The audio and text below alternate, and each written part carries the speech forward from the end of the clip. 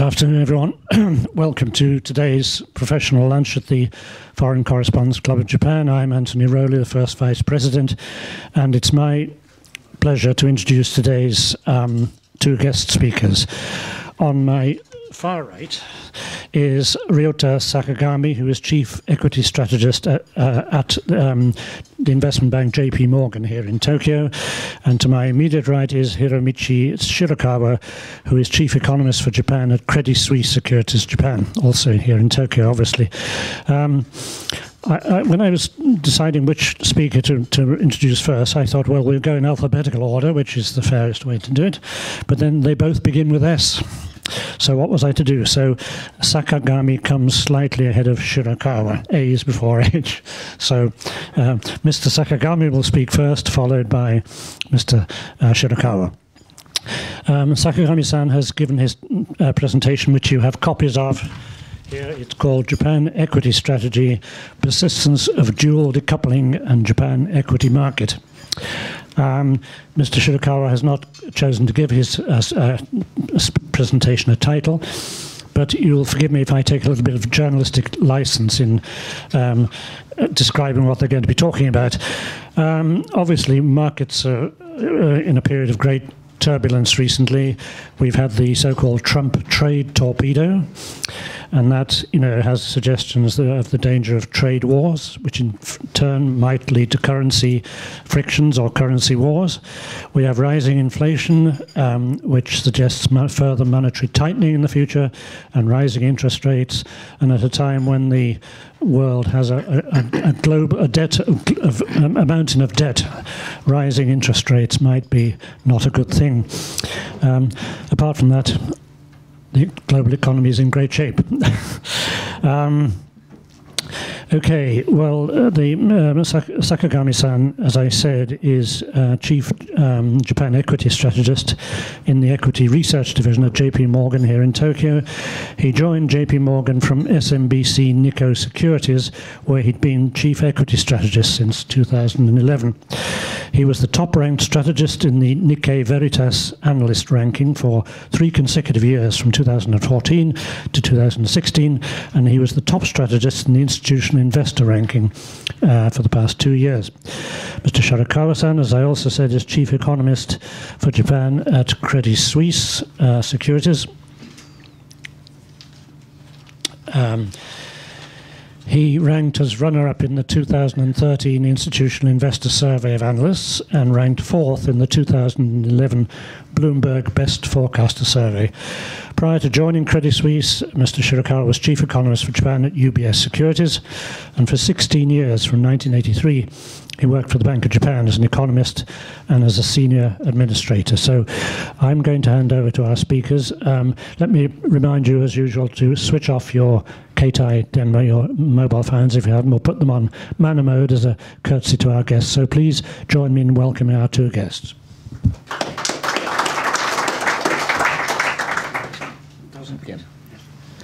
Uh, thank you, Anthony-san, and uh, good afternoon, everyone. Uh, I'm Sakagami, Chief Japan Equity Strategist of JP Morgan.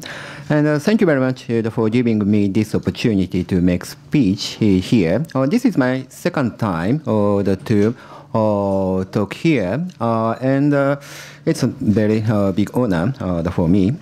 And today, I'd like to talk about the Japan equity market, the outlook for the Japan equity market, and also or the currency and the macroeconomy, or the mainly or the from a viewpoint uh, of the equity market. And first of all, uh, I'd like to show you uh, long-term structural charts uh, on page 11 of my presentation. Uh, and uh, looking at the Japan equity market in the last five years, I'd like to say the Japan market was finally normalized. And the left hand chart uh, that shows the, the EPS, uh, the earnings, uh, and uh, the, the, share price. Uh, and looking at that, uh, the, in the last five years, the basically the Japan equity market is driven by the improvement of uh, the earnings. Uh, it's a very normal condition, uh, but the, the in Japan, uh, the, in the last uh, the two decades, or the, we or the saw the, the big divergence or the, between the, the earnings and the share price. And basically, or the, the share price or the was or the overly valued or the, and or the, we didn't or the see the correlation or the between the, the earnings and the share price. That's why or the, in the uh, last 20 years.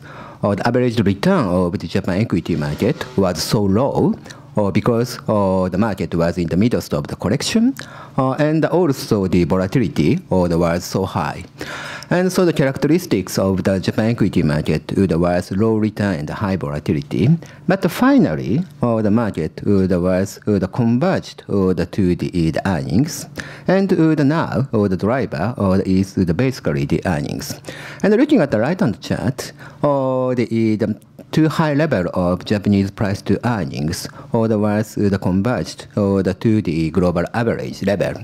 And so uh, that's the, uh, the, the structural view and the long-term view order from my side. And also, looking at the next page and the left-hand chart, uh, the quality of the, the Japanese the market is also improving, uh, in my view. Uh, and the left-hand chart uh, is the international comparison of the uh, ROE, and the Japanese ROE or the is or the catching up or the to the global average.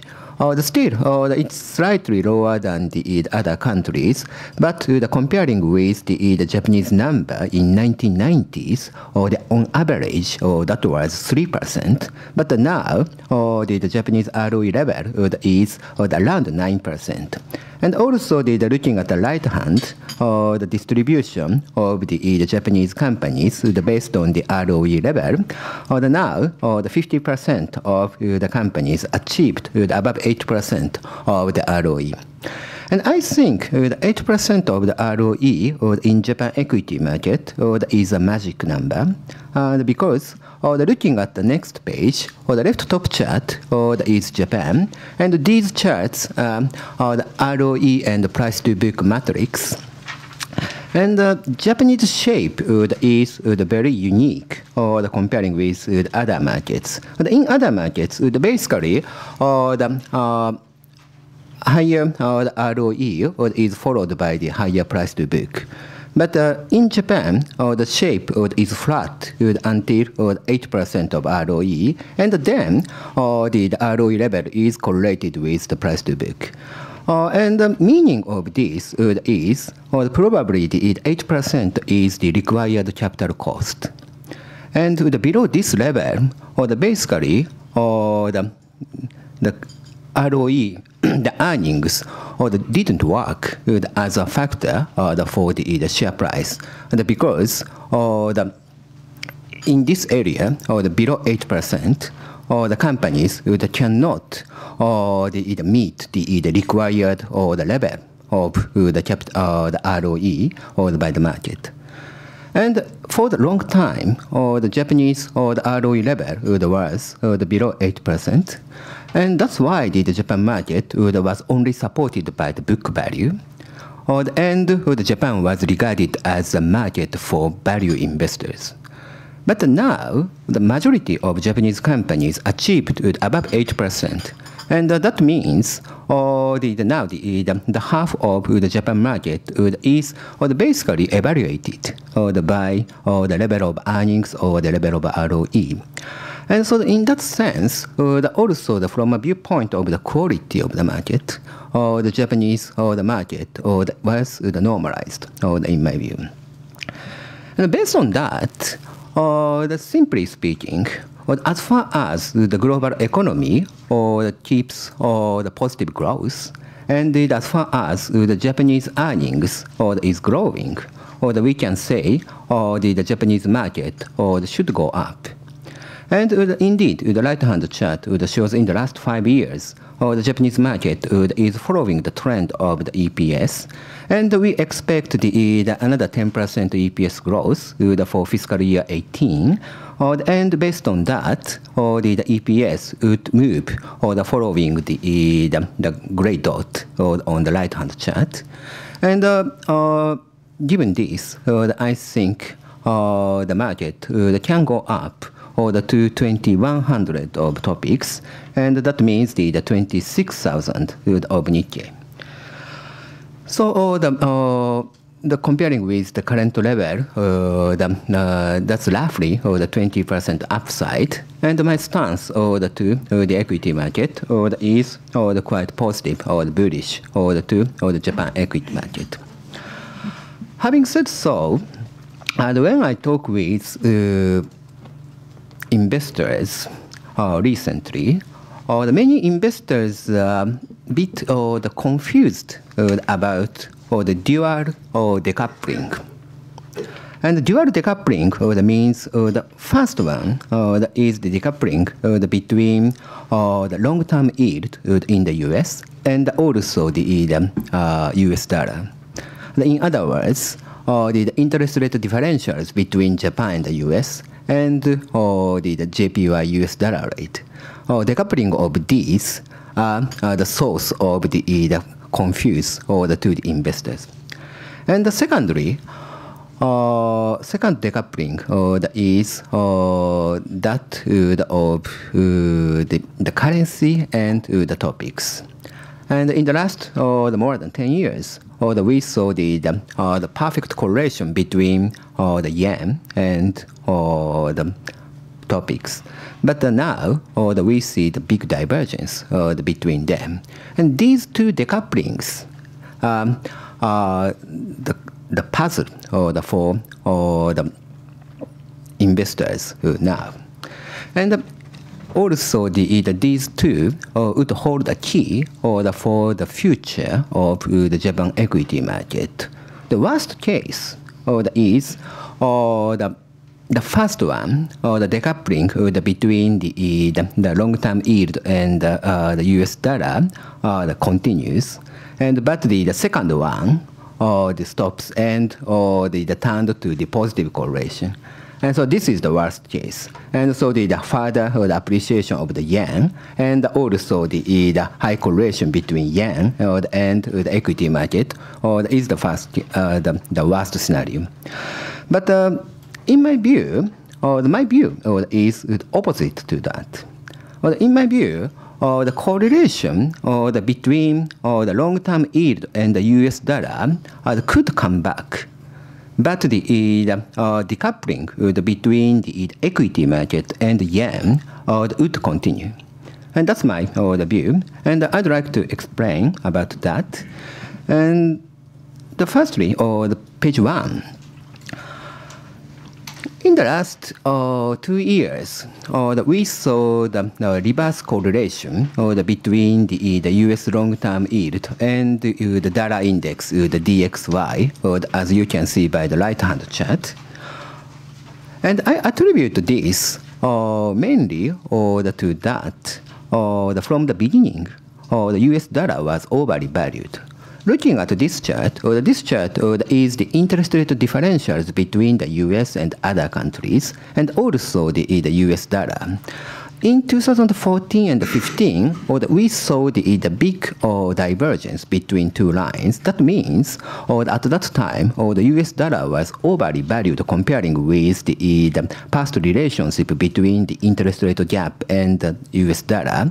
And in the last five, uh, two years, or the mainly, or we saw the, the correction of the, the overvalued level of the US dollar. That's why, or we saw the, the reverse correlation, or between the, the long-term yield in the US and the US dollar. But now, we see the, convergence between two lines. And so from now on, I think the, the positive correlation or would, would come back, and the higher long-term yield in the US would be followed by the, the stronger US dollar, in my view.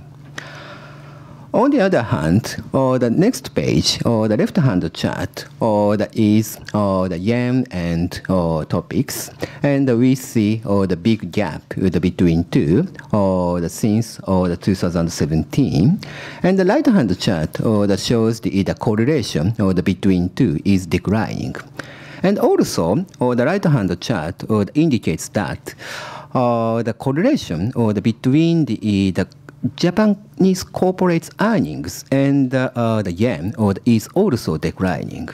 And so the background for the, the decoupling between yen and the market is also decoupling or the, the low sensitivity of the corporate earnings or to the currency. And the next page, or the looking at or the, these charts, these charts are uh, the contribution of the, the earnings or the by sector or the to the total or the EPS growth. And uh, looking at this, or the left or the below chart, or the is domestic defensives. Or the, this sector, or the earnings trend, or the was, or the on average negative, or the from or the 05 or the to 2013.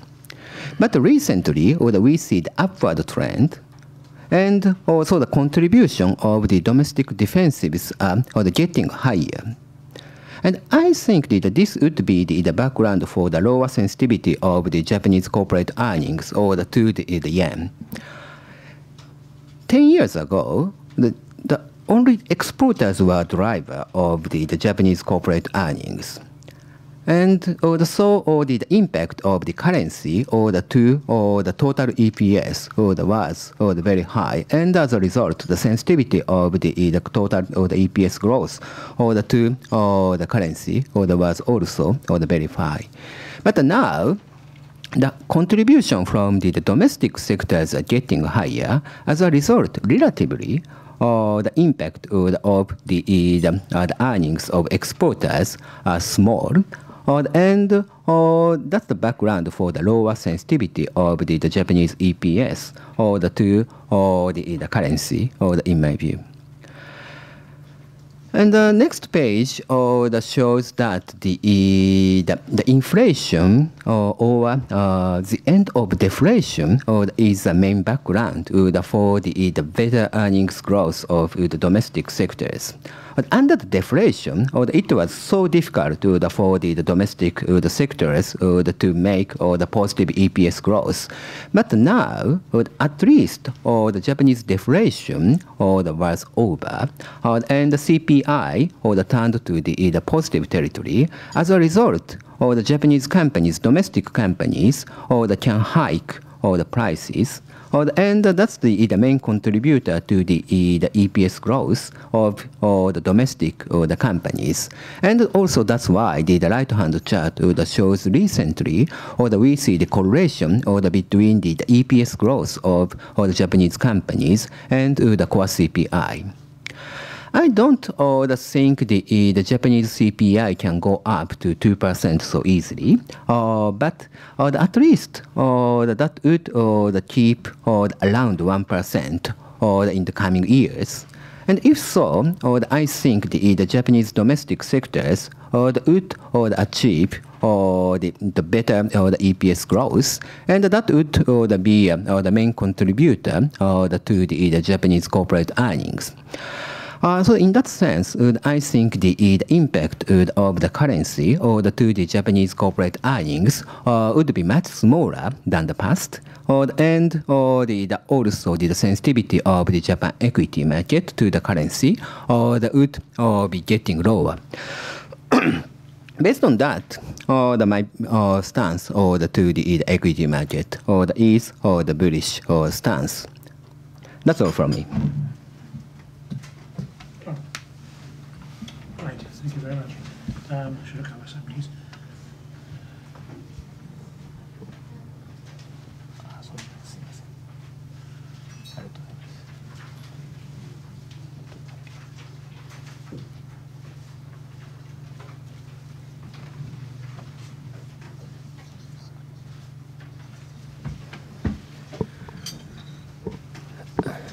Okay, um, thank you very much. Um, uh, my name is Shirakawa, um, Hiromi from, from Credit Suisse.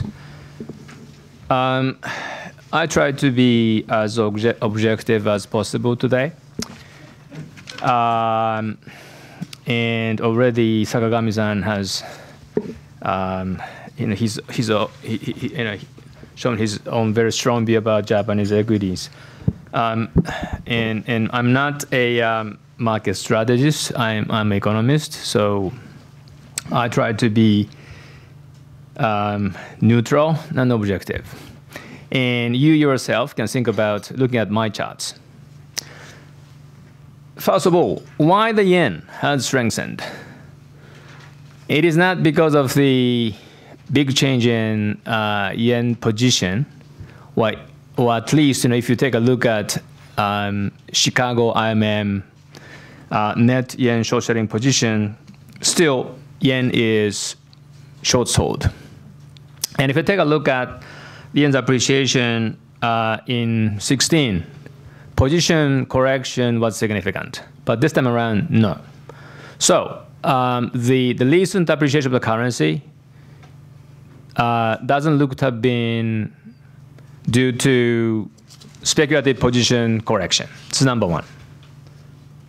Number two, sometimes people talk about repatriation, repatriation impact on the currency. So Japanese investors are now uh, getting their money back from the U.S. and, and to, to Japan, and that is appreciate the currency. But it is also no. If you take a look at the um, Japanese residents' net purchase of long-term foreign bonds, maybe you know uh, if you do break down geographically, bit of you know um, uh, more selling of U.S. Treasuries, and that money could have gone to European markets. But the point is that if you take a look at other net repatriation years like uh, 13, 14, and 17 last year, as of the third week of February, repatriation flow has been much, much weaker. So repatriation hypothesis is wrong. The second point. So why the currency is, is strengthening? And um, I actually use real interest rate differential between Japan and US using expected inflation rates in the bond markets. And now I say um, the dollar yen has got normalized. Normalized means uh, the over the past uh, maybe three years, yen was undervalued, and now yen has become more uh, fairly valued. If you use the 10-year real interest differential between Japan and United States, and my hypothesis is very simply speaking, this is mainly because of the Bank of Japan's normalization of monetary policy. So um, it's a bit strong word, but a Bank of Japan has or had tried to manipulate the currency as long as possible, as much as possible, but bullets have run out, and now the market is pricing the currency more consistent with some economic fundamentals. Tricky part of this is I use real rates rather than nominal interest rate differential. So the point is the US real rate has come up, but somewhat less than nominal interest rates increases. And Japan's real rates, even though if you take a look at the nominal rates, 10 year around 0%, real rates uh, is not so positive, uh, not so negative. So differential of real rates has been quite stable. And I would say the yen has been had been undervalued, but now become uh, I think the more fairly valued. So the my view is that it is not because speculation, it's not because of repatriation. It is more or less like the markets pricing the currency a bit more in a normal way, and also um, this is a bit of the, my, my, main responsibility for the Japanese economy, but um, my concern, not necessarily, not necessarily big, big concern, but if I take a look at Japanese monetary base growth and exchange rate, this is nominal. Uh, I'm not taking the monetary base growth differential between Japan and US. Sometimes people look at the you know, differential of the growth rate of Japan monetary base and US monetary base, which was originated by Mr. Soros uh, I use monetary base of Japan only, but the uh, there is a trend, which is the declining, not necessarily declining, you know, monetary base growth. Uh, sorry, declining monetary base outstanding, but the growth of monetary base as a trend has been now very much declining. So the pace of printing money by the BOJ has slowed down meaningfully. And the, that seems to have had some impact on the currency. Um, the yen depreciation phase to have been over in that sense. So again, the simply speaking, um, markets have seen dollar yen in particular, or the yen, from the viewpoint of the medium-term um, cyclical behavior of the BOJ policy, normalization, and more fairly valued currency. And of course, currency has been or should be affected by many other things: external surplus of Japan, uh, what is the outlook into next year, and so forth. But simply speaking, I'm not surprised to see yen's appreciation over the in the past uh, year or so, uh, given the uh, course of monetary policy by the Bank of Japan. And people asking why the U.S. Fed policy is not necessarily affecting the currency pricing. Uh, it's a bit tricky, but again, um, the Sakagami-san used the nominal interest rate, but I, I, actually tend to use real interest rates. And from here on, if the U.S. fiscal expansion leading to much faster real GDP growth rate and real interest rates, that should be positive on the dollar, or the yen could start to weaken again. But if the U.S. rates increases and more on the side of the inflation expectations, real rates may not necessarily rise, and the yen is not necessarily depreciating, or dollar is not necessarily appreciating. So the key is whether or not the fiscal ex expansion of the United States really leading to higher trend real GDP growth in the United States and higher real long-term interest rates. So uh, that that is the the currency view, and uh, this is a bit controversial. Um, the I very much like to look at the shape of the yield curve because long long-term interest rate, in, short-term interest rate differential doesn't matter for credit, credit creation by banks. Uh, we know that U.S. firms become much less inclined to borrow money. However, we still see some credit cycle, and and um, I'm I'm looking at the U.S. Treasury yield curve, 10-year, two-year yield differential, and because of the uh, Mrs. Yellen, uh, yield curve has not necessarily get flatter continuously. You, you, you see you know, some pickup in uh, or the steepening the yield curve in 1913, 14. We call it kind of Yellen put. But then starts to flattening again. And this flattening trend doesn't seem to be changing. Uh, again, this is related. This is the very important thing is your call about the fiscal stimulus impact on real GDP in the United States. This is very important. And behind that, you have to have your own assumption for private demand cycle. But anyway, the point is if the long rates are not picking up, short rates picking up because of the Fed policy, yield curve will not get steeper, continue to flatten, you're going to see um, some you know, downward impact in the pipeline, in the economy. Credit cycle may go, go down the south. And interestingly, um, this flattening of the curve in the US Treasury yield and effective dollar depreciation sometimes happens simultaneously.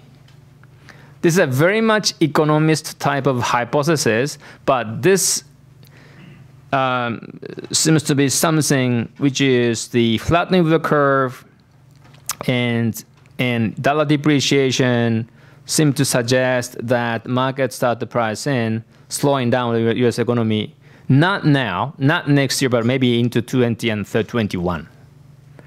The lag wouldn't be that stable, um, but um, I think the, we saw depreciation dollar, a flattening of the curve, occurred simultaneously in 5, 6, and 7. And 8, we had a crash. Uh, I'm not saying that because we don't have much of the, those experiences in the past. But as long as if you take a look at the experience between 2004, 5, 6, and, and 8, um, simultaneous uh, the um, observation of flattening of the curve and yen depreciation means something. I would like to see the U.S. yield curve to get steeper again. Fed become somewhat less um, hawkish, and markets pricing in continuously the fiscal stimulus. If the yield curve gets steeper, dollar would strengthen, or risk risk on would be coming back. Uh, so we are very much you know, focusing on the shape of the yield curve and movement going forward. So that that is, I think, the uh, very broad view. And again, I'm not a uh, market strategist. So I'm, I, and I also am not responsible for making a call for the dollar yen or interest rates um, or even U.S. economy. Uh, but the one possibility is the yen continue to strengthen uh, because it doesn't have any um, strong, strong, I think, birette to counteract to yen's appreciation. Uh, but I, I, tend to agree with Sakagami-san on the Japanese equity market situation uh, because we have seen very, very strong profitability of Japanese companies. So um, I would say the as long as the U.S. U.S. market is doing quite okay or strong and U.S. economy does okay, um, uh, I think um, unless unless the uh, U.S. economy and markets go down, uh, Japanese equity markets would be behaving uh, quite well. Uh, but I think the currency, uh, I don't know. I mean, the, there's a risk. if this trend continues, the yen could be strengthening further. Um, and our, our, our current house view is 105 yen, not a big difference at the end of the year uh, from the current level. Uh, but definitely we are not saying the yen is weakening um, meaningfully from here. And yeah, I can stop here because, uh, you know, sh shorter is better maybe. Yeah. Thank you very much, both of you. You've both given what, what I think I would call very rational and cool, calm presentations. Um, so, if I may, before I open the floor to questions, I'd like to ask you whether uh, the, the, factors that I referred to at the beginning of my uh, of my uh, introduction, when I said that markets obviously have some real fears at the moment. Uh, Mr. Trump's um, trade uh, tariffs, which uh, it's widely speculated could lead to trade wars. That will have an impact, presumably, on currencies. Um, we do have a situation of rising interest rates in the US and elsewhere, which is um, possibly going to cause um, problems with debt. So, um, are you not concerned about these these factors? I mean, when you look at these things, they really do seem to be quite alarming in some respects, especially the tr possible trade war. Does that not play into your calculations about where markets are going to go? Uh, Mm, thank you very much. And uh, I think so far uh, the impact of the, the Trump's policy uh, would be limited uh, to Japanese companies.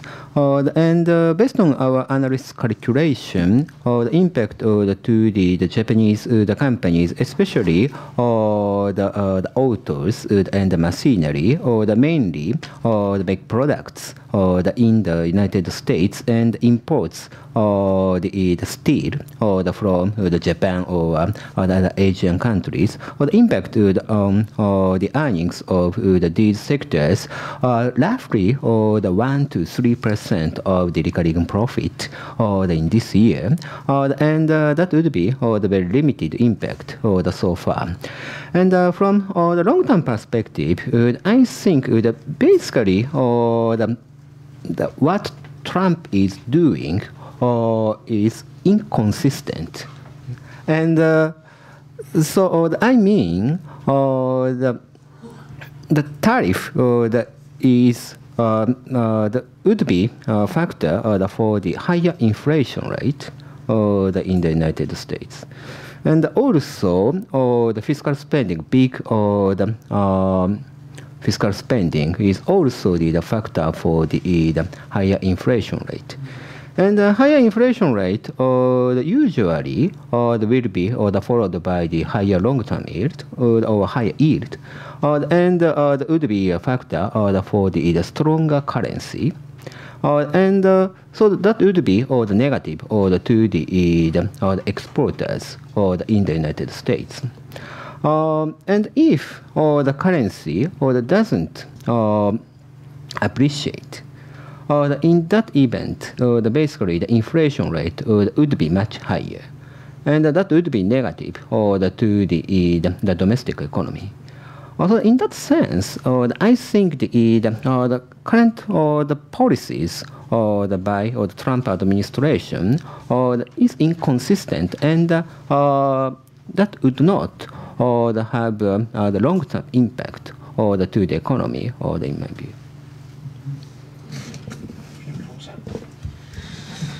Yeah, I think um, uh, first of all, the um, our biggest focus right now is on uh, car trade, um, steel products and aluminium related tariff um, would not necessarily affect much the Japanese exports to the United States. Um, the the concern, of course, again relates to the uh, car trades or car related exports from Japan to the United States. In back in 1981, if I remember correctly, under Reagan administration, uh, there was a strong, strong pressure to Japan, and Japan actually uh, introduced uh, self, yeah, voluntarily, yeah, voluntarily cap on the car export to the United States, um, initiated by Japanese car industry. That time, I think 1.6 7 million car to the United maybe, if I remember correctly. But anyway, slightly lower than 1.7 million cars. Um, Japan's exports to the U.S. in terms of the passenger cars last year was 1.76 million something. So um, and very very stable, but uh, you know the number hasn't hasn't declined since maybe around 10 years ago. Um, so the the issue is whether or not the car exports of Japan to the U.S. Uh, become a real focus among us two countries' trade negotiations going forward. Um, I, I do not think the that's going to be a big issue for the moment, mainly because of the um, regional security issues uh, Korean Peninsula issue and so forth. Um, but of course, we have to prepare for some risk. Um, but I think the, getting back to the fundamental, the problem of the global economy is the uh, very stubborn U.S. deficit, twin deficit, uh, trade and uh, fiscal deficit in the United States, and in particular in Europe, huge external surplus. Japan as well. China has somewhat corrected their surplus, but Japan is running the right now 4.1% uh, of GDP of current surplus. Germany is like 8% of GDP of surplus. So trade frictions would, I would say, would not easily go away until price or exchange rate adjustments become really visible. So euro has become stronger. It has become stronger, and is this really leading to some correction of the two, two or three, three regions imbalances? May take time. Uh, Japanese companies uh, still quite, um, uh, you know, they, they could be profitable uh, at 105 yen to dollar. And price effect would not be that strong. And, and also, um, as I mentioned, US could buy more things because fiscal stimulus. So how how you know we're gonna we're gonna see a correction of the imbalances, uh, only a minor change in the exchange rate levels. So if tariff story is gone, maybe more focus on the exchange rate. But remember that early 80s, we had a voluntary uh, cap of export to the U.S., but still Japan's running huge surplus. And then what? Plaza Accord. So bit of a worry in that sense. So far should be okay, and I don't think that could be happening again. But the Japan has to be responsible for, at least to some extent, you know, reduce our our imbalances. Uh, but how we can do that because the fiscal situation is quite uh, already, as you mentioned, the public debt is still very very big and so forth. And BOJ's monetary policy cannot easily stimulate domestic demand or imports. Usually, BOJ's monetary policy tends to stimulate exports rather than imports.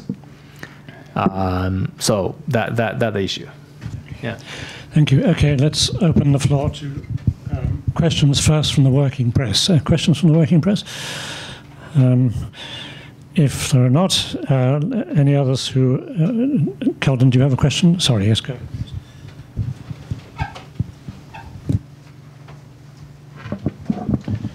Thank you very much for your presentation. I have a question I ask him all the time. Mm, I am Azhari, I'm correspondent for PanOrient News and uh, some media in the Gulf where they sell oil to Japan. So I have some income in yen and in dollars. So if you are in my place, what would you like to get salary in dollars or in yen, or uh, their third choice now, uh, crude oil also possible, if I have a refinery. But seriously, we, we really want to know where the yen is going.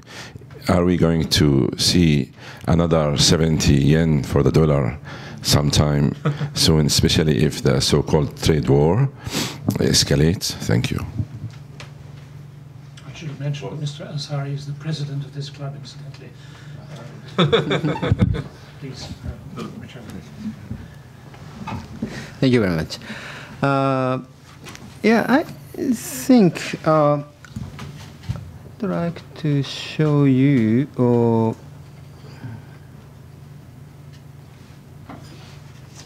yeah, the left-hand chart uh, on my presentation material, and uh, I used to, to work as an economist, and so the, I'm now uh, the market guy, but uh, basically uh, the, my background is uh, economic fundamentals. And uh, based on this, uh, the, my view uh, from a long-term perspective the, is the very much fundamental view. And I think the, the still the purchasing power parity would be the important factor from a long-term viewpoint uh, regarding the, the currency. And the left-hand chart uh, the, is the, the divergence uh, between the, the actual uh, the, uh, the rate uh, against the US dollar uh, and also the, the purchasing power parity. And um, positive number or the means the, the currency or the is overly valued uh, against the US dollar, and the negative number or the is uh, undervalued. And looking at this, or the Japanese yen or the has been or the overvalued or the around or uh, since or the 2011 or the to 2013. And so I think or the the the BO, the impact of the first BOJ's mandatory or the easing or the by or the Mr. Kuroda was the, the trigger uh, the, for the normalization of the, the highly uh, evaluated yen or the to the, or the normal level. And uh, that mission or the was completed or in 2014, but the, the BOJ eased the monetary conditions further uh, in the second half of uh, the 14. And uh, as a result, uh, in the short term, or the Japanese yen or the was uh, depreciated further or to the undervalued level, but it, that was the followed by the too strong US dollar and also the, the weak emerging currency or the end or the weak emerging currency was followed by the, the drop, uh, the uh, emerging currency, and the strong US dollar was or the followed by the drop of the commodity prices uh, in the world. Uh, and the strong US dollar, uh, the weak emerging currency, and uh, the weak or the, the commodity prices were the background for the, the slowdown of the global economy the, from the beginning of 2015, and the, the, global market would turned to or the risk off or the, in the middle of 2015, and yen or the started or the to or be to uh, come uh, uh, to uh, appreciate it again or the to or the beginning level. In that sense, uh, I think in the short term, the currency intervention, the monetary policy, or the manipulation of the currency or would work. But from long-term viewpoint, basically, the uh, the currency or is converged or the, to the fundamentals and to the purchasing power parity. Uh, and so in that sense, uh, the, I think the, the, current level of the yen or the, is or the, the roughly or the fair value or basically. Uh, and uh, uh, the, in the future, or the, basically the, in, or the inflation rate gap uh, between or the Japan and the U.S. or the would or the be the, uh, the key factor uh, for the the, uh, the currency. And so in that sense, uh, I think, uh, of course, the U.S. inflation rate uh, would uh, accelerate, but at, uh, at the same time, or the Japanese deflation or is finished, or, and uh, Uh, the, given the, uh, the current or the very tight labor market uh, and aging population, and so the Japanese supply side would, would shrink would continuously, or the supply demand or gap would, in Japan would narrow or the continuously, and that would be a factor for the acceleration of the inflation rate in Japan.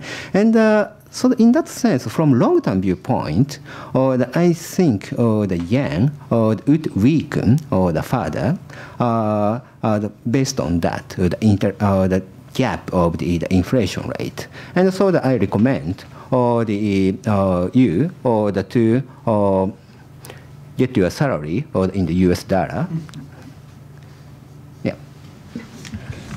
You have a comment? Yeah, I think um, the um, the issue is whether or not Japan, um, well, to resolve the Japan's fiscal problem, uh, we we really need a significant inflation, or not, or um, you can put this way: um, this fiscal situation would inevitably require um, significant price level adjustments on the upside or huge inflation. Unless, well, without that, Japan cannot get out of fiscal problem. If you think that way, yen has to weaken, definitely. Almost, almost impossible for the yen to stay this level.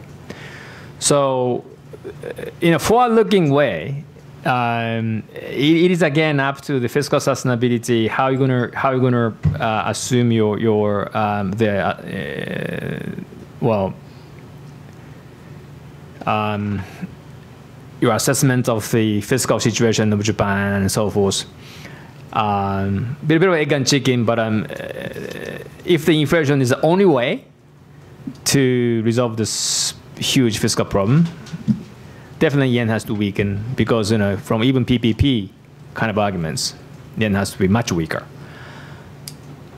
Uh, but in a backward-looking way, uh, from PPP perspective, for example, Japanese inflation rates have been much more stable than the United States.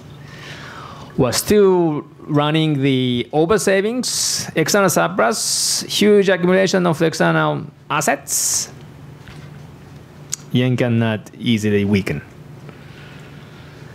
So in the backward-looking way, I, I, always think that if I talk to, for example, people from Singapore and people from Hong Kong, I always say, can you eat, can we eat um, ramen, for example, um, in, in Singapore? Um, if the current exchange rate like, you know, 100 yen to dollar, five bucks, almost impossible. If you go to Singapore, if you go to the Japanese ramen shop, they sell $13. Means yen is hugely undervalued from that sense. So people tend to feel from, from the other side, you know, other side of the uh, globe or somewhere outside the country, they're coming to Japan and eating things. Wow, everything is very cheap. Yes, our currency is cheap. I always think that it's not a Big Mac type of PPP, but I think the I, I tend to say, you know, ramen PPP, 50 yen to dollar.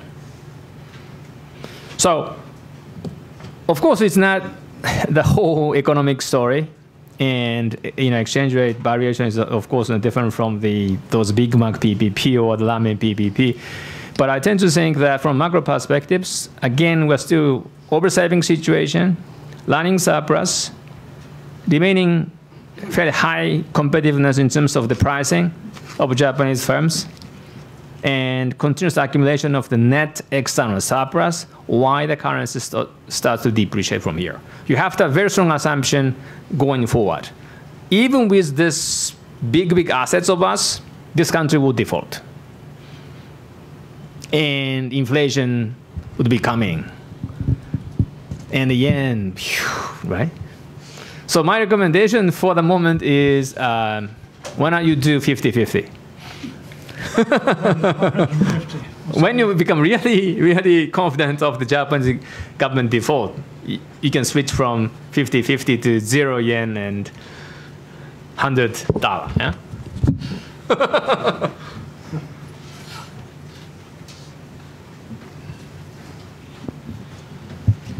Süddeutsche Zeitung Neidhart, uh, to follow up to this, uh, what you just said, Shirakawa-san, um, if we have a significant inflation, don't, doesn't the BOJ run the risk of having a negative balance sheet?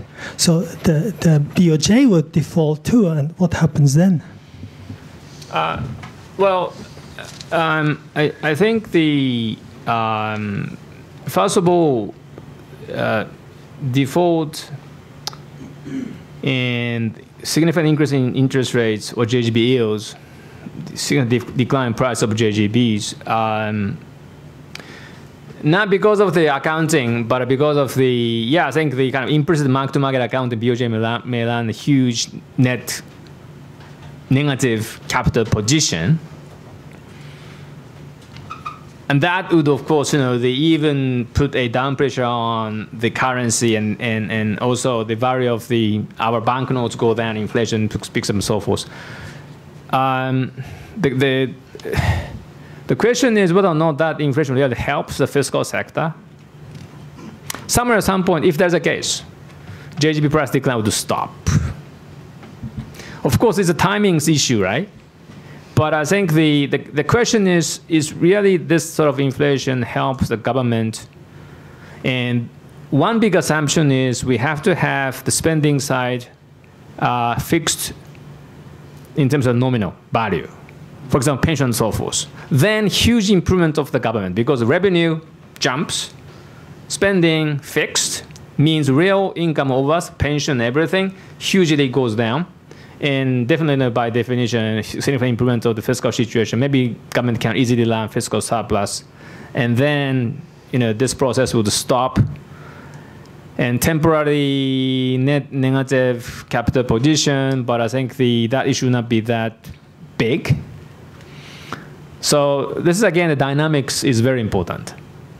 Uh, the fiscal, you know, again, you know, the, the issue is whether or not the inflation really helps the fiscal fiscal authorities. And in our understanding, uh, tax revenue sensitivity to inflation rate is fairly significant, and usually bond yields response is somewhat less. Means debt services cost increases sometimes, although almost always, you know, less than tax revenue increases.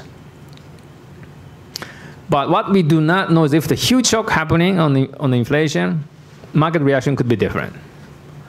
Uh, but uh, we are not necessarily that pessimistic about this mechanism because inflation picks up, let's, let's say like from zero to like 5%, for example.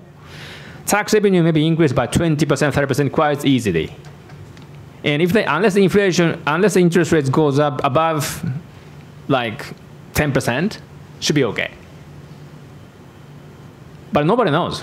Uh, that's why. That's why the Japanese authorities have not yet learned risk of those significant price adjustment type of policy. And if you take a look at Abe administration, even though they say deflation is needed, but look at them. They stick to VAT hike.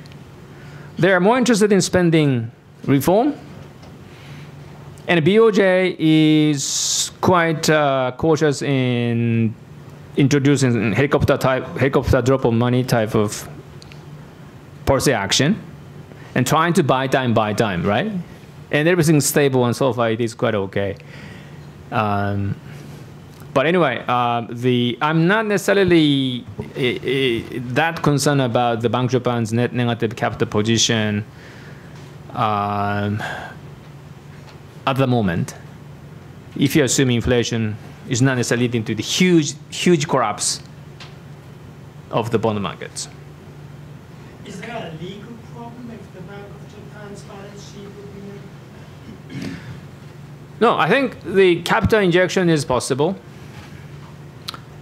And yeah, I think it is simply speaking, you know, uh, there's no there's no legal problem, but I think one thing is that the BOJ law now define the central bank's capital of 100 million yen.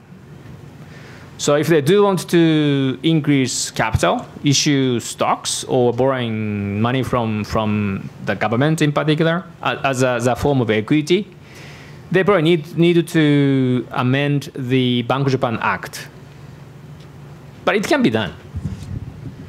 Sakagami-san, do you want to say anything on that, or should we pass on to the next question? Oh, That's okay. Next.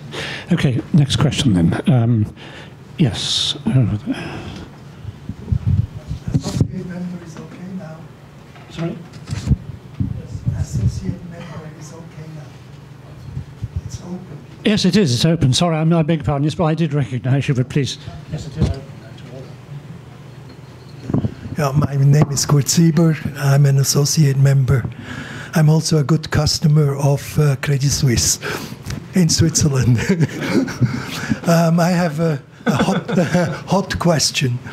Um, my grandmother emigrated from Germany to Switzerland in the 1920s. And uh, when I visited her home in Switzerland, she uh, had one of her rooms uh, using billion mark Reichsmark as a tapestry. Uh, so that brings us to the subject of hyperinflation. Uh, hyperinflation uh, is, uh, well, everybody tries to avoid the subject, I know that, and uh, but um, still my question is, in that sense, is what happens if um, things are really running out and we have like in Germany, one egg costing 323 billion mark. Thank you. Um, I, have a, second, uh, a, a, more simple question. You, you covered very well the uh, the dollar uh, yen situation, but there is another big um, currency in the triangle, and that is the uh, euro. Uh, how do you see the euro in this triangle uh, at this time? Thank you. Is your question addressed to Shirakawa-san? Whichever of you would like to reply. Uh, thank you. And uh, the firstly, or the still, I think the the hyperinflation or the uh, like uh, the Germany in 1920s uh, is uh, unlikely uh, the, because the now the central banks uh, they can tighten the monetary conditions uh, easily or if the, the inflation rate or accelerates uh, significantly. And also in Japan the the risk uh, is the, the, huge amount of uh, the debt outstanding uh, of the government, and but uh, still, as you know well, the the major part of the, the government government debt is financed by the Japanese people. And as a total country, the Japan is a net creditor to the overseas. And so on the net basis, the capital flight uh, is unlikely. And so the I think the, the vicious cycle of the, the weaker currency and uh, capital flight uh, and higher inflation, or the vicious cycle of these uh, would be the way of the, the, uh, the hyperinflation. But uh, uh, the, for the moment, uh, the, uh, it's unlikely or the, the for or the Japan or the because of the, the uh, because that uh, Japan is a big owner of the financial asset uh, in overseas. Uh, having said so, as I mentioned before, uh, the current or the supply-demand condition uh, in Japan is so tight, and the Japanese people has a mentality of deflation. but now, the Japanese supply-demand gap is in the positive territory, and the unemployment rate is 2.0 0.4%, or the still, or the, now the majority of Japanese companies or the reported the shortage of the labor force. And uh, that means, or I think, or the, the tighter uh, the supply-demand conditions would be followed by the, the higher inflation rate. And um, so in that sense, uh, I don't expect the, the hyperinflation, but uh, the I think the, the, in the future, or the Japanese uh, inflation rate, or the could be, or the much higher uh, than now. Okay, thank you. So we're trying to get one more question. So, Um, euro.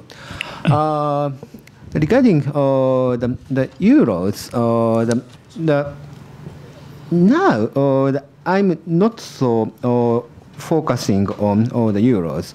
Or in the last or the three years, or I focused on all the euros, or the because or the in 2014, or the ECB also implemented the, the, uh, the easing um, uh, monetary easing, and the euros also or the depreciated or the significantly, and so or the both uh, the BOJ and or the ECB or the were the, the background or the for the, the strong US dollar or the since uh, the 2014 or the, in my understanding, and in 2015 or the Japanese yen returned to the, the uh, the, uh, the former level, and but the, the euro or the continued or the weak level or the against the U.S. dollar, and so all the, the divergence between the, the mm, the interest rate gap or on the right hand chart or the, and the, the US dollar or the continued or the in or the 16 or the, but uh, now or as a result of the, the,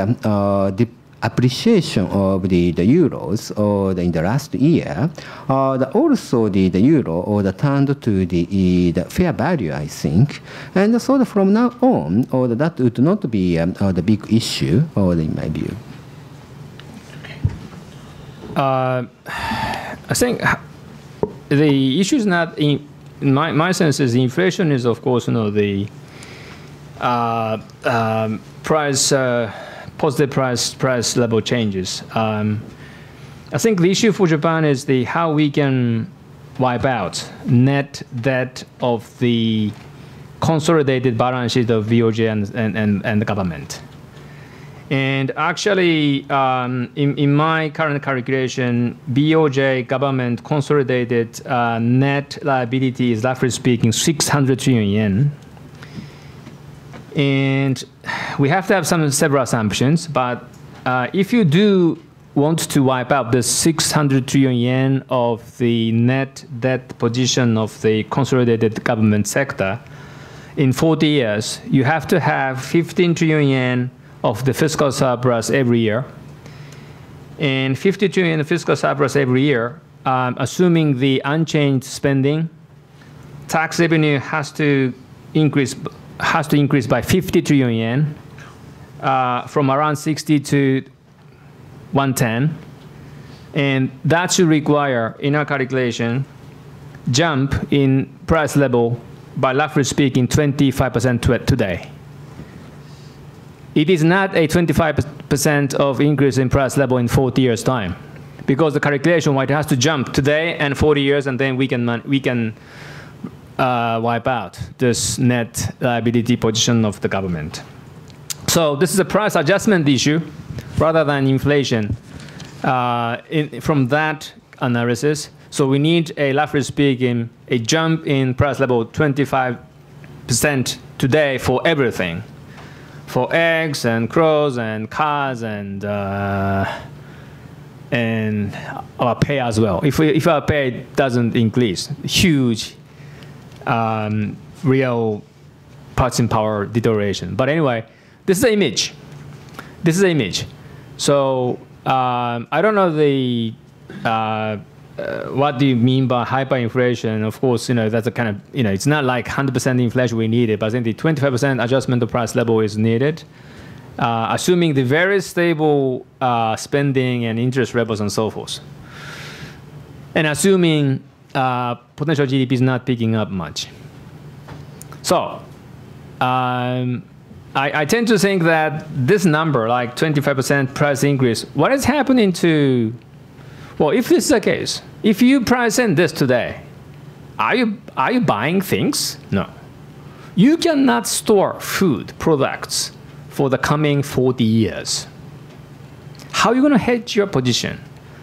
By buying stocks by buying properties or by investing cryptocurrency.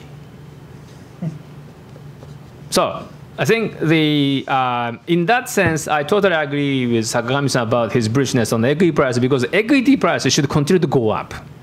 Because everybody, you know, if I were if I were a Japanese national uh, expecting this uh, price level adjustment into the future, why we why we hold deposits, cash, and so forth? Crazy, right? So uh, again, this is the number, and I don't think the hyperinflation. I, uh, it depends on your definition, but the point is we have to hedge our financial portfolio quite aggressively into the future. Okay. I'd like to take just, we are up against time, but I'd like to take just one more question, if that's agreeable. Peter.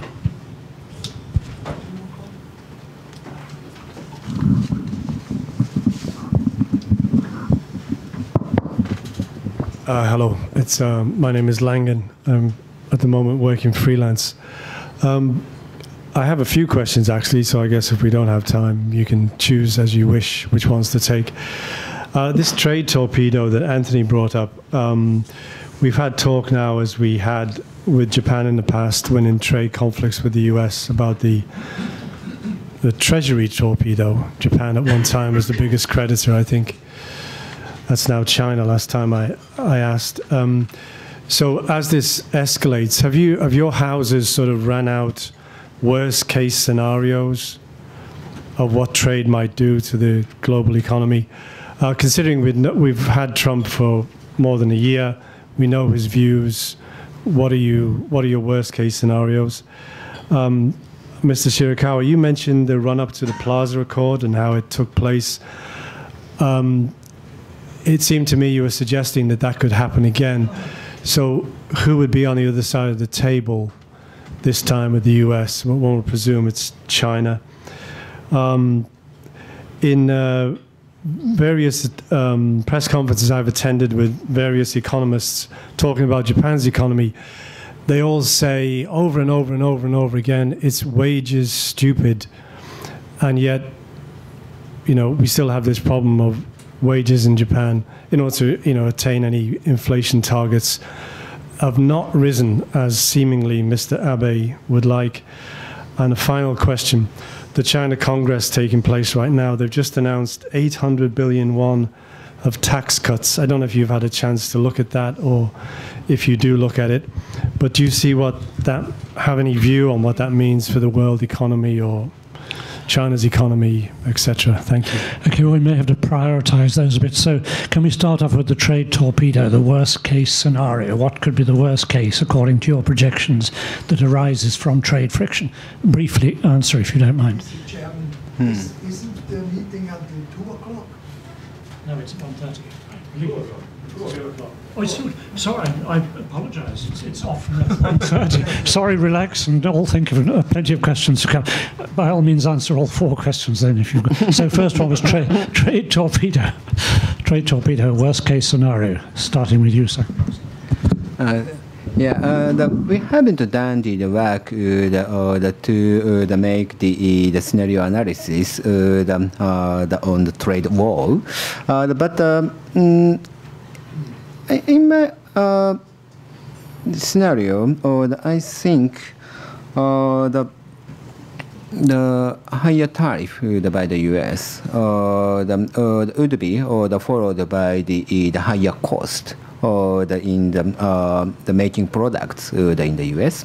Uh, and uh, uh, that would, would be passed to the, to the consumers and or the, or the would be the followed by the higher inflation rate and uh, long-term yield or the in the U.S. or the would rise or and would also the Fed or would hike or the the, or the rates or the or in the high pace and uh, that in that event or the so or the that's a kind of the, the cost push inflation or the, in the US. And the cost push inflation would not be necessarily or the positive or the to the, eh, the corporate earnings. On the other hand, uh, the higher long-term yield would be negative or the to the, eh, the equity valuations, especially the, eh, the US or the or the equities or the, the price to earnings valuations expanded or the significantly or the under the condition of low interest rate And so or the higher interest rate or would be followed by the, the, or the correction of the, the valuation of the U.S. equities. And uh, that the, would be uh, the collapse of or the, the U.S. equity market, especially or the FANG type of the growth or the stocks or the valuation would shrink or the significantly or the, the under the scenario. Or, and so from a market perspective, uh, I think that that would be uh, the worst case. Uh, and um, the, regarding the, the impact to the economy, or the, I'd like to uh, pass the baton to Shirakawa-san. But uh, uh, regarding the, the, uh, the wages uh, in Japan, uh, I think the the very important factor for the Japanese or the wages um, on page 10 of my or the presentation, or the recently, or the, we see the, the, upward trend of the year-on-year changes of the regular employment. And uh, in the last year, uh, the Japanese part-time workers ratio stopped to rise. I think that this is uh, the very uh, important change of the Japanese or the labor market because uh, in the last uh, the 20 years, or the Japanese part-time workers ratio continued to rise. And that was the factor for the, the, the, negative factor to the average wage, as you can see by the right-hand chart. But uh, now, the, the, due to the, the severe labor shortage, or the finally, or the companies, or the started to shift the from part-time workers to full-time workers, and the, the full-time workers would, uh, the year-on-year changes accelerated or the significantly, and the part-time workers ratio would stopped or to rise. And as a result, the right-hand chart would shows the, the average wages or the turned to positive or the, the basically. And from now on, or I think or the, without the, the, pressure from the government, without the, the tax incentive, or the, I think the, the Japanese the wages or the can go up the further, the, because the, the uh, the, we cannot uh, solve the, the, uh, the problem of uh, the labor shortage or the due to the aging population. Okay, Shirakawa, before you answer, if I could just say, um, I think, uh, uh, and forgive me, Peter, if I'm wrong here, but we're not concerned just with rising costs and inflation in the US. I mean, if, if the Trump um, torpedo leads to retaliation in the EU, possibly in Japan, possibly in China, we could see an escalating series of tariff rises. So, in your worst case scenario, uh, what could be the sort of global impact, you think? Um, Um, well, this I think tariff war um, uh, will end up with a sort of ugly outcome if the tariff war uh, involves uh, counter actions by the other countries. But the um, for the United States, it, it doesn't necessarily a bad thing because the just it is to restrict imports and theoretically, that is leading to more domestic production. Theoretically, that is leading to higher income. And that could pay for short-term rise in import increases. But it's very nationalistic. I think the issue is, what is the reaction function of this government? I think very simply speaking, the administration seems to be much more interested in their own country's interest rather than the global economic interest. And I think the, you know, we are now only talking about iron, steel, and bit of aluminium and so forth. But the point is, if you take a look at the um, domestic, um, uh, sorry, the global investment position, uh, investment uh, or the production capacity, I think the starting 2000, around 2000, because of the WTO and because of the significant in investment increase in China. Emerging economy share of the domestic G, uh, uh of GDP in the global economy jumped around 2000 and then continued to go up. So, in the industrial nations, uh, investment GDP share continues to decline. So now emerging countries produce and we buy things. But our problem is what? Aging population. We want to produce things rather than buying things because our buying power is going down. So I, I, I don't say Trump is right, but the point is, for the industrial nation in general, there's an incentive to produce and invest and improve per capita GDP because we are now aging. We want, you know, our consumption economy is not necessarily picking up from here. So if you take a look at IMF chart, chart like investment GDP, emerging economies like this, and industrial nations like this. Trump wants to this come back a bit. Um, I think they may be stealing some from the United uh, from from China maybe. It does not necessarily make sense because trade trade uh, you know should have, should definitely affect the global GDP. But from from the American people perspectives, I don't necessarily say it is doesn't make sense. It makes some sense. So this is a trade issue. So and we also that you know we, we haven't done any specific report targeting this trade friction. Uh, on on on the wage side, uh, I think the again because of being economist, we tend to look at real rather than nominal. And real wage growth in Japan, uh, if you use the GDP deflator, is roughly speaking, per hour real wage growth right now is about 0.7, 0.8%. Slightly lower than productivity growth, but not necessarily hugely lower than productivity growth. So if you want to see a pickup in wage level, you want to see, you have to see pickup in productivity growth is one thing. If you do an, if you do not expect productivity growth to go up, and, and still you want to see wage growth increases, you want to see labor share going up. So profit share goes down. So what Abe-san is saying is that why don't you do pay more workers without productivity gains is what? Okay, you, you, have, to, you have to accept lower profit share in GDP. You have to accept higher labor share in GDP at the sacrifice of lower productivity share in GDP.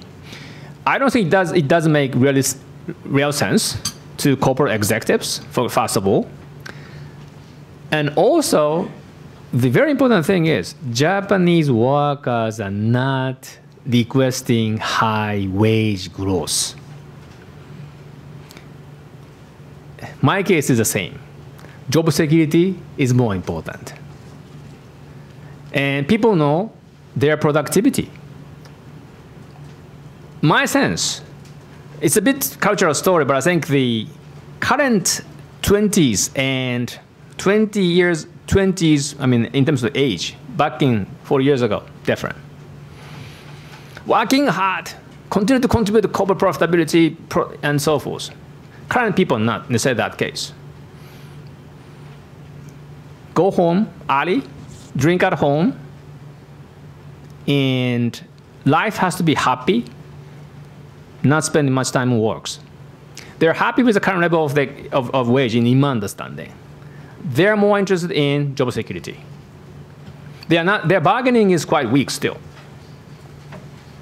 So productivity is one story. The other story is people are not necessarily uh, pushing hard the companies to raise wage level. Because AI into the future, 8 million jobs will be lost even in Japan only because of AI and so forth. How are you gonna, you know, only thing is, okay, you're gonna sack the guy sitting next to me and pay me more. That makes sense. But this is not Japan. Everybody likes job security. We're gonna keep this size of employment forever, and so forth. So the wage story, we are, we are, we are still saying maybe 1% wage growth is, is the case. Okay, there was one more question, which is about are we looking at another Plaza Accord? And if so, who will be at the table next time? Uh, the possibility, of course, is, is more on China. I'm not China, China Chinese economist, but uh, if you take a look at the Chinese uh, surplus to the U.S. and in terms of the U.S. trade deficit with, with, with China, in terms of their GDP, of course, China is the biggest uh, uh, I think the contributor to the U.S. trade deficit. Uh, and if you take a look at the IMF PPP uh, number, it's kind of astonishing number, like 3.5 something yuan to dollar. Currently 3, 6.3 something, right? One, two or three. So, but I, um, I, I don't say that, that would happen again for Japan, but I think the one possibility, of course, with China. But uh, we are not making such a kind of call uh, as a firm. Okay. Uh, oh, sorry. Uh, well, okay, uh, but we do have a question here first. Let's. Okay. All right. Tax cuts in China. Do you have a view on that?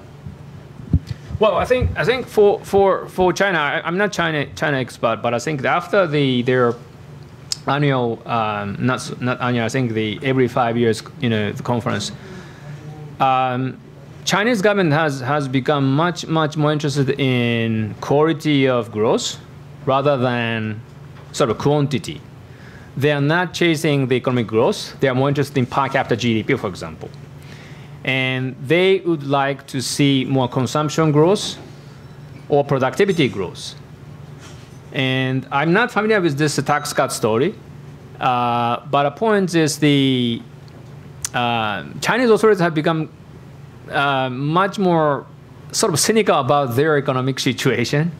I was quite su uh, surprised to to listen, uh, so to read the, their statement that our per capita GDP is still nine thousand dollar even even even our economy is second biggest in, in the world, and nine thousand dollar annual, uh, the you know the uh, per capita GDP. Uh, for Japan's case, that was uh, 90, 80 or 79. So still they're lagging more or less like 40 years behind Japan. And why Japan could improve their per capita GDP is because we did significant improvement in terms of the um, made in Japan in the 80s. Sony and uh, uh you know Toyota and so forth. So China is now very much interested in China-made things. And that tax cut, I don't know, um, maybe you know, relating to that a bit, but um, uh, I, I, do not think that is to stimulate the economy, but to probably improve productivity and maybe their focus is more on the side of the how they're going to uh, increase the share of the global markets by selling their own products. That is needed for their GDP, per capita GDP to, to go up. If they are st still the global factories, very difficult for, for them to improve per capita GDP. Uh, so we are not that interested in China's economic growth rate uh, in particular in, in, in, nominal terms, but real terms is important, but per capita is much more important.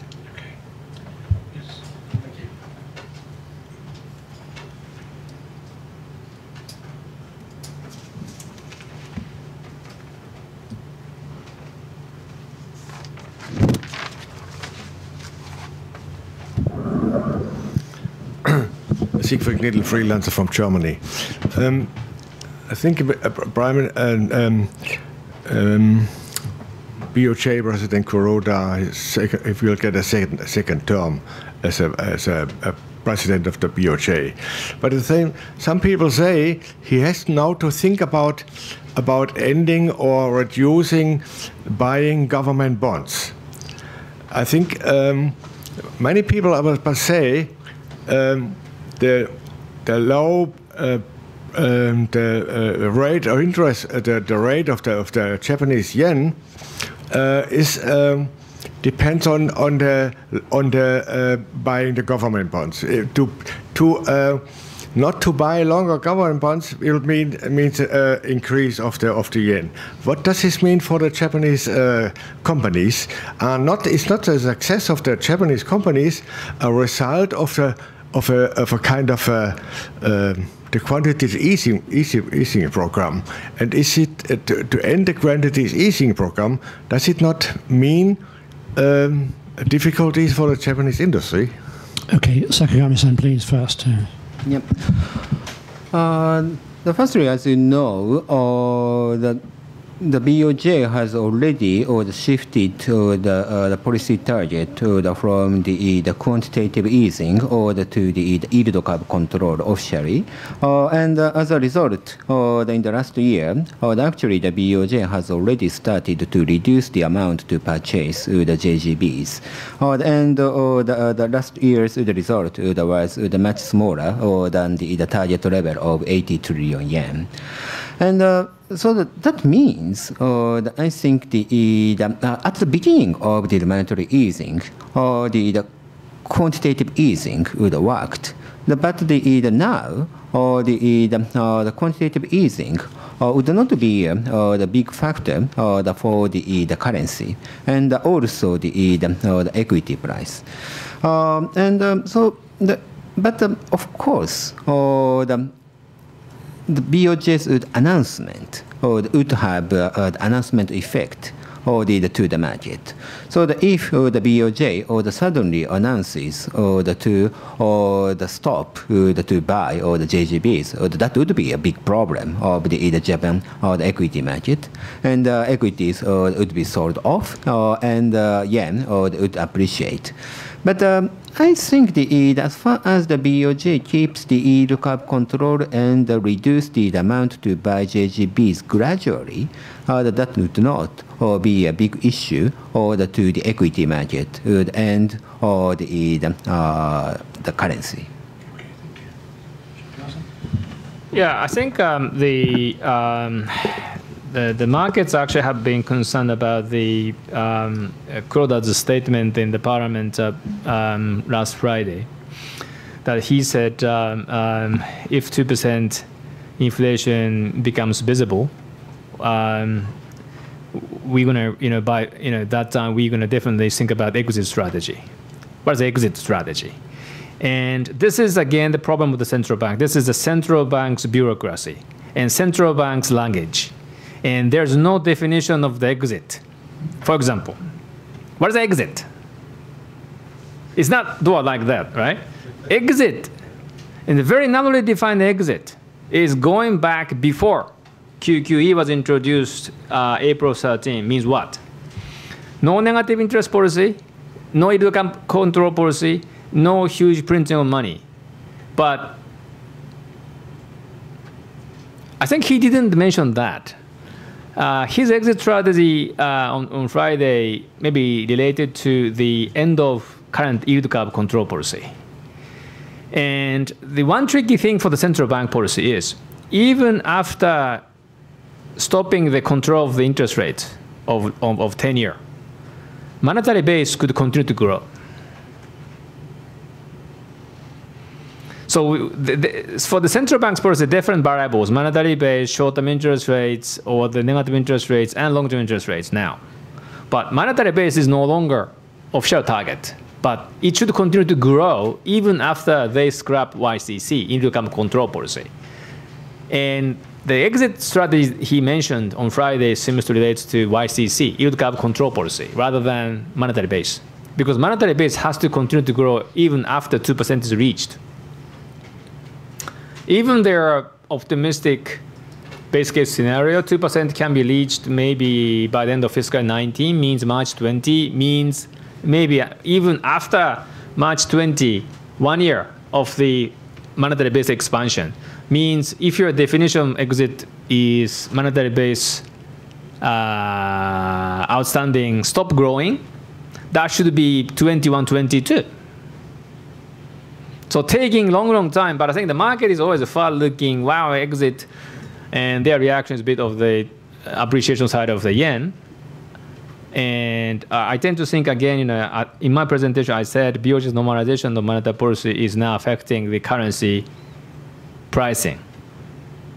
But at Bank Japan, their wishful thinking is US rates going up, economy is okay, and everything will be okay. Yen will not strengthen to 90 yen to dollar and so forth.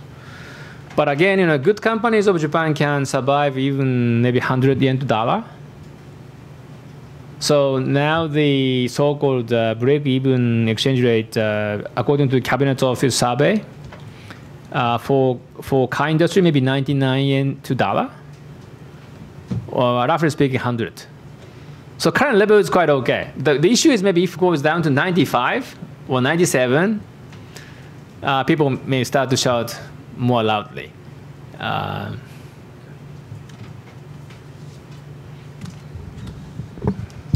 Okay, well, again, my apologies for attempting to cut you off early. Um, the final half hour has gone very, very quickly um, because it was very stimulating debate.